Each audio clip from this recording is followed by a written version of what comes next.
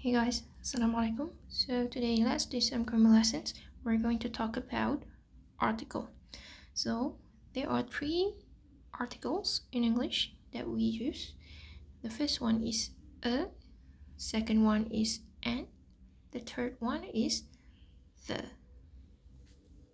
Right. So let's see how do we use these three articles. So the first one is article a or we usually pronounce it as a a car a chair a table right so when do we use a? We use it for anything that is singular and countable right and you have to make sure that the singular countable noun the first letter of the word should be in consonant okay? It should be a consonant sound. Consonant sound is something besides a e i o u right? So i wrote an example there a car and now let's look at article an. It's still the same like article a we have to use it for singular countable nouns except you use it for anything that has vowel sounds which is a e i o u for example an apple okay?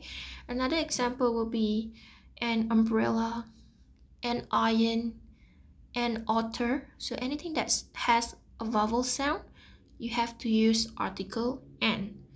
Okay? So basically a and they are pretty much the same except the consonant and vowel sound.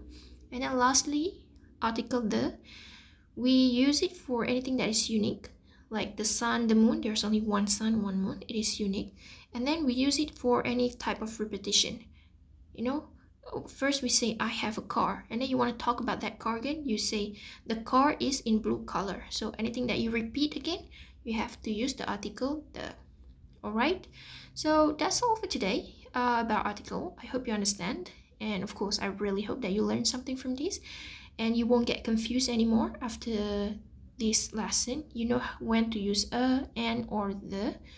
So if you enjoy this please give this video a thumbs up and share it with other people that you think will find this video useful. And i will see you guys next time. Bye bye thank you so much for listening. Bye bye